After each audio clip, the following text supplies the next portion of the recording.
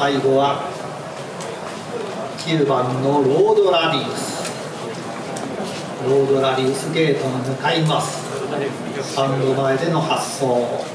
9頭ゲートに収まりました。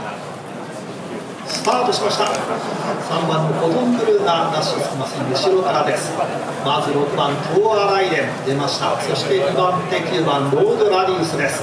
3番手が4番のフライヤークルー内には2番のビューティーワン。前から5頭目中段5番フロンダウロンです。あとは内1番ナノンペドロ外7番ノモンドブリエ。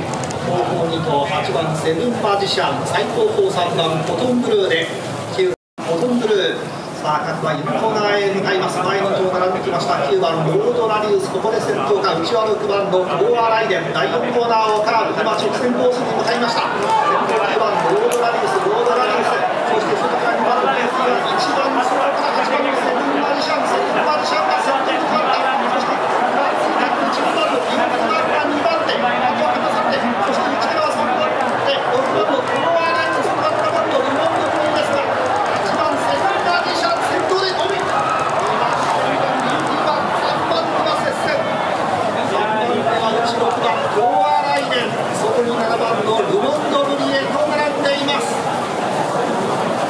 8番セブンマジシャンクリスチャン・レムーロ騎手です